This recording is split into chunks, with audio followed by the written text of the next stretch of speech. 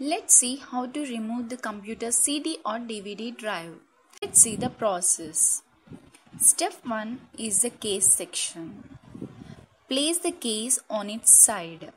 Locate and remove the two 13.1 mm thumb screws. Step 2 Slide side panel towards the back and remove. Step 3 is the CD or DVD drive section. Locate the CD or DVD drive in the upper front corner of the case. Step 4. Locate and remove the two cables attached to the CD or DVD drive. Step 5. Locate and remove the two Phillips 0 7.8 mm screws. And step 6. Locate the three plastic tabs connecting the computer's faceplate to the case.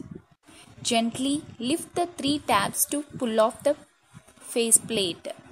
Step 7. Pull the faceplate forward and out. Step 8. Completely remove the faceplate. Remove the CD or DVD drive by pulling it toward forwards the front.